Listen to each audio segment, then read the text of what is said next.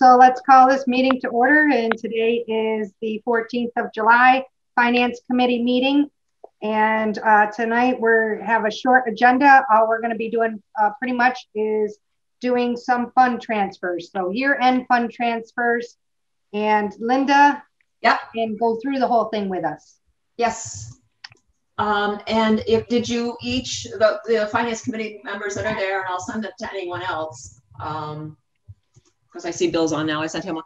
Um, if they want them, did did you get what I sent? It was really only about half hour, 40 minutes ago. Yes. Yeah, all right. I have it on my Okay. screen now.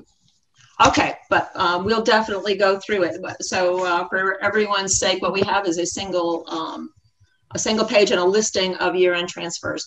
Um, what we had uh, decided to do when we were talking uh, last week, and we involved Amy in it, is to do all of the year-end transfers out of the reserve fund. Um, for those of you not familiar with the system, at the very end of the year, the finance committee and the and the select board uh, can move between approved budgets. So if there's extra money in one budget, they can move it over to a budget that has run low. Um, and this is typically done at the end of the year. Uh, and it involves a joint meeting of the select board and the finance committee. Now we weren't ready because we still had another but uh, another warrant or two to get through last week, and select board wasn't meeting this week. And we realized we had enough money in the reserve fund to cover it all. So we decided to make all the transfers out of reserve fund and have it in, and so that the finance committee could do it without meeting with the select board. We did have one portion of it that we did cover with select board last, uh, last week. So I can do it either order, uh, Amy, if you, uh, either the, um, reserve fund transfers or the, what was the other, the, um, chapter ninety. You want to do the fund transfers? Okay, all right. Number one, um, finance committee, ninety-five dollars. Um, I think at some point during the year, Carolyn put in it for MMA dues or a program or something that one of you attended. So your budget ran ninety-five dollars short. That'd be me. I went to it. Okay, totally worthwhile. and uh, the second, we'll just get ourselves out of the way. The second is uh, during the transfer uh, to uh, with the town administrators. And second is the treasurer's uh, stipend that we worked out with the select board and finance committee that I would um, uh, uh, take charge of the budget, administratively handling the budget. And uh, so there's so my budget uh, did not have the five thousand dollars in it, and that's it was done as a stipend so that um, it would not stick with the treasurer's salary. You know, if the administrator decided to handle it next year or, or move it to someone else, it's not part of treasurer's salary. So we did it as a separate stipend. And I think I got that in a few weeks ago to you, and I don't think you you, you didn't handle it then. So we're just handling everything at once here. Third item on the list is legal expenses. Um, they were under budgeted by, well, it's hard to say under budget because you don't, uh, we don't, it's, it's, you know, budgeting is just your best guess. Uh, that, um, or educated guess. So we had, um, $35,000 legal budget and, uh, 37,000 was spent. So considering the cost of it, that's a $2,000 uh, the specific reasons for the overrun, that we had a, a number of additional things that weren't anticipated when the budget was done over a year ago were uh, related to North Hadley Village Hall is probably the single item that that um, has has caused the overrun. Um, I'll do the third and fourth, the, the fourth and fifth together because there, uh, there's the planning board and the zoning board. Um, they have a budget for legal notices and advertisements when, when they uh, have to advertise a hearing. Um, they, uh, these both came up interesting towards the end of the year because a lot of the early part of the year, a lot of things were quite, um, weren't really moving very much due to COVID. And then uh, it picked up in the spring. So uh, planning board ended up being about $850 short on their, for their uh, advertising budget for legal notices and ZBA was a $1,000 short. Um, next, um, uh, and we and we have Susan on. Um, Susan, you want to talk about the? Uh, actually, if you want to handle both of the insurance ones, even though they're not next to each other. Sure. Yeah. Um, the property and liability insurance, because we vote the budgeted amount um, well, typically at our, uh, you know, at our annual town meeting, insurance companies will not give us their renewal figures until probably the beginning of June because they don't want anybody to go out to bid, um, which years ago that that made sense uh, to them, but now there's no there's no competition. Um, so so David kind of guesstimated at 146, 173. The actual policies came in at 154. So, you know, we're, I think we can close the gap on, you know, $8,000 uh, going forward um, by looking at loss runs and all that kind of thing. Um, but it wasn't done. And so, it, you know, we'll never have the exact figure from the insurance company when we actually vote it. Uh, and the other one, police and fire um, accident insurance. Uh, workers' comp in Massachusetts specifically excludes police and fire from being covered under a workers' comp policy. So we have to buy uh, what's what is police and fire accident coverage. They all come with thousand dollar deductibles. So um, these are the difference here is the deductibles that were paid out due to incidences or accidents. And one thing I want to point out on insurance is this list, you're just seeing the shortfalls. What you're not seeing is the budgets where it went the other way. right. so uh, we have uh, insurance budgets that are misunderstood, uh, mis- uh, uh, that are misestimated the other way too. Not mis- they're estimated well, but that's oh, how right. it works out. Yeah. So so we have uh, more than enough going the other way, but these are the ones we have to deal with. Um, the the last two are under DPW. One is uh, we're looking for 43,000 more in the uh, DP uh, in the highway budget. And there's a couple things I want to say about that. There, if you have their um, uh, one of the attachments was the, uh, the the summary of each of these departments and where you know so you can see the budget how they are in the negative. Um, the thing with highway, oh, the, the single line item, if you see, is $80,000 in the hole. That is completely the, what is the tree? That says uh, the arborist vegetation management services. That's our, that's the tree work.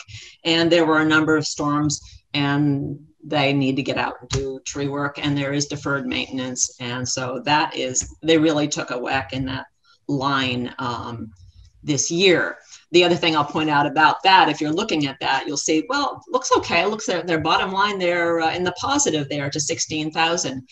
Yes, they are. But remember, at town meeting, we vote salaries and we vote expenses. And they actually are over $40,000 left over in the salary section. And so um, they're looking for about that the same amount down in the expense section. So when it comes right down to the, the highway budget, uh, between the two is actually not not really overspent. Um, and the other thing is, if you look and you see that it's 35,000 in the hole there, but we're asking for 43, that's where the other attention, uh, uh, the other uh, attachment, which was encumbrances, at this time of year when uh, someone, do, when the actual invoices aren't received yet and the department has know something is outstanding, um, he's he has about eight thousand dollars in in that category of work that has been ordered or, or the services or the product hasn't arrived yet. So he's encumbering, he needs the money held from the 21 budget to cover those expenses. So we're looking for 43,000 out of that. And lastly, oh, Susan was going to talk to because she talked to Gary Berg today about the uh, cemetery expenses. Um, Susan? Yeah, um, apparently when uh, the cemetery mowing went out to bid. Um, they awarded the bid based on a per mowing um, charge, not an annual charge as it had been done in the past. So, you know, if somebody uh, had bid annually 41,000, and I'm just throwing a number out here, 41,000. However, uh, that would cover all mowings that were necessary. Now that they have a per mowing and there is one year left in this contract, Um, they are making 500 and I don't know, maybe $26 per mow. So if it needs to be mowed more often, this will run over. Um, and I did talk to Carolyn about this uh, this afternoon, and she is um, prepared to make sure that all of our contracts are done on an annual basis versus, you know, this per one-off deal. So, uh, so we'll move forward with that one. Yep.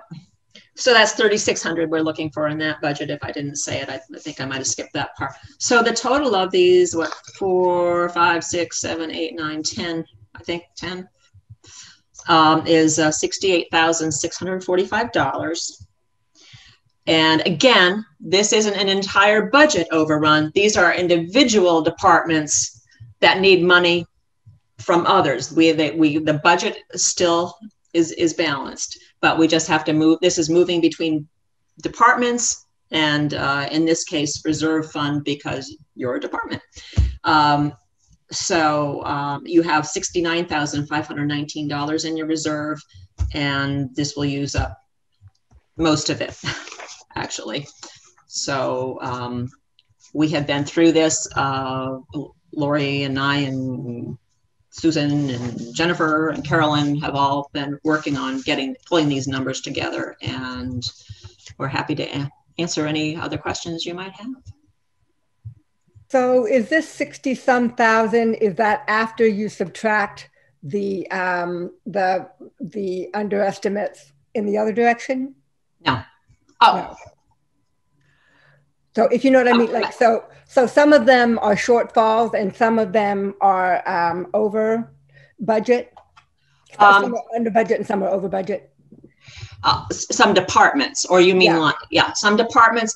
Um, no, we they are they're not netted in. Any Oh. any department that has funds left over, that's just going to flow into free cash. Okay, right. So, and it doesn't really matter where it comes from. If we took this, these out of other budgets that did have extra money in it, then your 69,000 would flow into free cash. It doesn't matter which department we take it from because the overall budget is still fine. And we are, we do anticipate um, uh, getting some um, some good amounts, and that's all I really want to say. I don't want to guess and then be wrong, but um, there are amounts that are going to be coming back from a number of uh, budgets uh, at the end of the year, and that goes into what is called free cash. That's what's certified by the state each year to say how much money we have to work with going forward. Got it. And one of the things that we talked about, sorry, the dog's chiming in. One of the things that we talked about was this, this kind of makes it cleaner for us to keep eyes on where things might be going in the future uh, to prevent this. So, Mhm. That's an agreement, correct, from the dog? uh, yes, that was a Definitely. yay. That counts as a yes. Making sure, you know, could be the Dalmatians are missing again, you know. Okay. All right. So if uh, anybody has anything else, or if not, do I have a motion to um, uh, approve the fund transfers as stated? I'll make a motion to approve the fund transfers as stated at sixty-eight thousand, six hundred and forty-five dollars from the reserve fund. Second, Wonderful. So uh, first and a second, um, any more discussion? Hearing none. All in favor? aye. Aye. Aye. Aye. So I believe, do we have to do a roll call? I think we do. Oh, good Right. point, Amy. Good So- remembering. So uh, Fyden is yes. Benjamin, Yes, Hood, Yes. Levine? Yes. Thank you. So you have four in attendance? Four in attendance, 400. Okay. All right, thank you. Thanks. And you have uh, one other matter of business from, from our end. I don't know if you have other things to go over, but the other is the, uh, um, we have had over a number of years accumulated deficit in the Chapter 90 funds. Chapter the uh, high that that those are highway funds that are spent each year, and then they are subject to reimbursement from the state. They need to be spent first. So this is this is a, uh, a an account that's always in the negative because you're spending the money first and then you're getting a reimbursement. But by the time you get the reimbursement for what you spent, you've spent more money into the next year. So um, it is always in the negative, and so it, there has to be attention spent to it. Uh, it you know, we need to pay attention um, to know the amounts that are in there that did not get reimbursed. This is something that goes back, I think, to 2016. This is uh, so what is supposed to happen each year, what ought to happen, I should say, what ought to happen each year is if you're coming up short a few thousand dollars from what the state reimburses, that then that the um, the deficit needs to come out of one of the operating budgets. It should get paid out of highway or, or whichever. Yeah, highway, since they are the, that's them.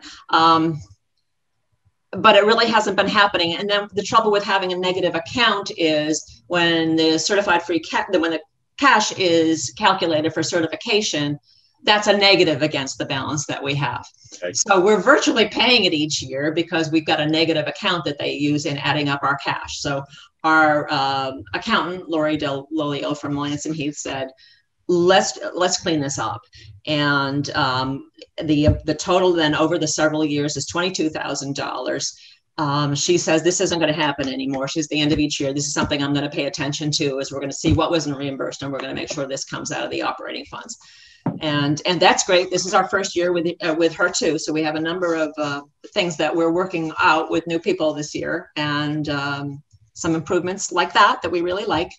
But um, in the interim, then we are asking that $22,000 be transferred into the Chapter 90 account to square us going forward.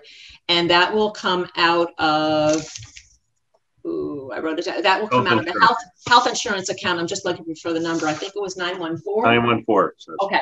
The 914 health insurance account, which is, I, I believe, up at least 40 or 40 or 80. um, yeah, that, there's plenty of money left in that account. So um, we, we want to move that over and take care of that going forward. We need a vote? So we're looking for 22,000, please, in that transfer. So do we have a motion for the $22,000 transfer from, um, what did you say it was from the? From the health insurance 914. I'll make a motion. Okay. That we uh, approve a $22,000 um, transfer from health insurance account 914 to the uh, Chapter 90 funds mm-hmm. to cover the accumulated debts in that fund, in those amounts. So I, I hear Paul made the motion and Valerie seconded the motion. Uh, so do we have any other discussion? No? Okay, all in favor? I'll do the roll call. Uh, Fyden, yes. Benjamin? Yes. Hood? Yes. And Levine? Yes. Great. So four, uh, zero, zero. Thank you. And for clarification for those who uh, pay attention, this is one that comes out of a depart other departmental budget and therefore requires the uh, uh, the support of both the finance committee and the select board. Select board took this up at their meeting last week and um, and did their share of the approval. And with your approval, it goes through and it is something that that we can do. So this has been done correctly and by by July 15th. Um, which is what it's supposed to be, and maybe the first time we've actually met that date in quite a few years. So um, things are it's looking good. So thank you very much.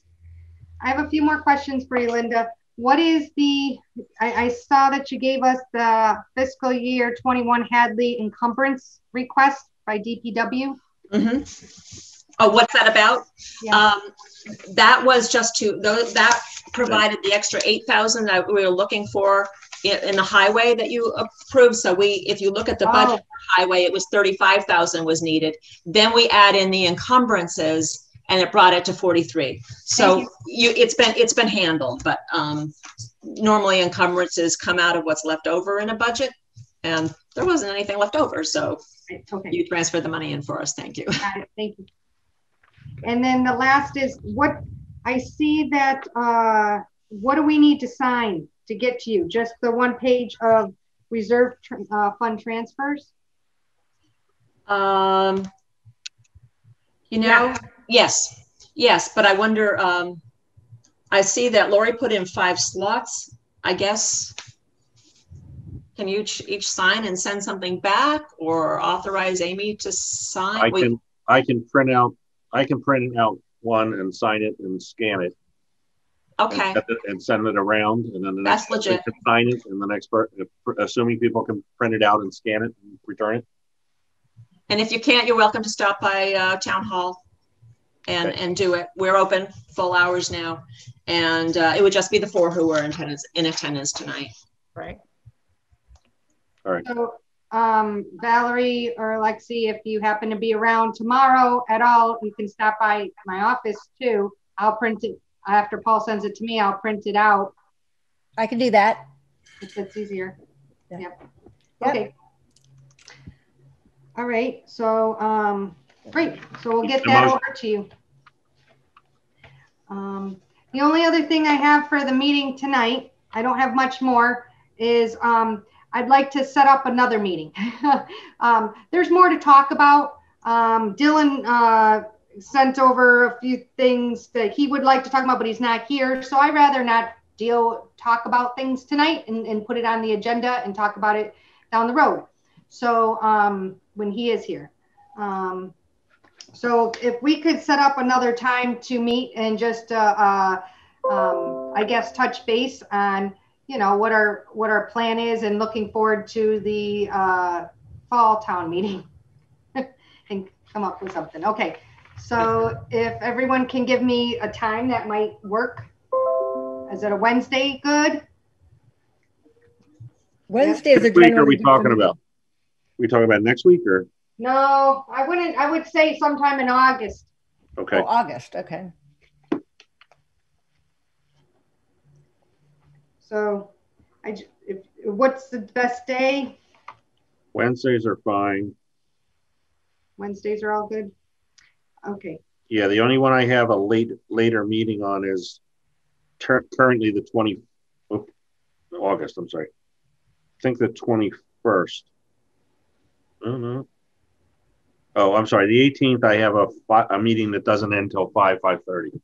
okay. So that would be the only week, uh, Wednesday that would be bad for me, the 18th. So, And uh, the, and the select board meet, I believe, the fourth and the eighteenth. So you won't want to do it that day so that we can have Yeah. So coverage. the eleventh, eleventh or the twenty-fifth? 11th, it sounds good. Works for me. Works for you. Okay, works for me. All right, let's pencil that in and let's look for the 11th as our next day and we'll come up with, oh, you signed it already? Yeah, I'm gonna scan it, I'll scan it in two, two, min- when we're done here, I'm gonna scan it and send it. Amy, you want it sent to you? Yes, please. Okay, So what time are we doing the 11th? Is it at 5:30 again? Sure. 5:30, sounds Yeah. good. Okay. Okay.